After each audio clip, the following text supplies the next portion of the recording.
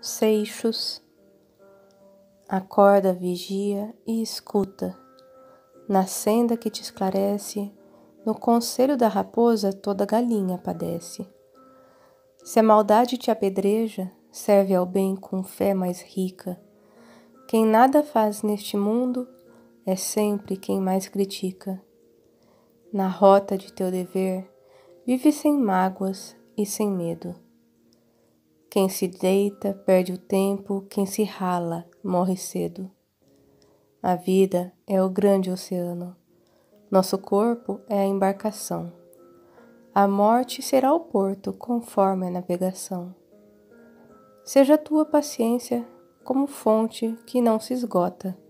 Arrojo sem disciplina é trilho para a derrota. Se queres a independência, não vivas muito à vontade.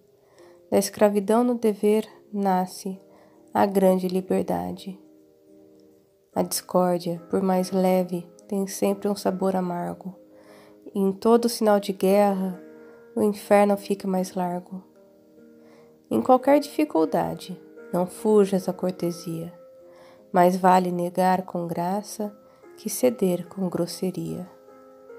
Se ajudas, ampara logo, sem pergunta ou desavença Caridade verdadeira nunca pede recompensa.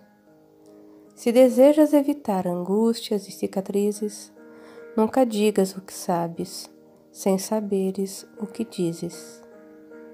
Casimiro Cunha, Psicografia de Chico Xavier.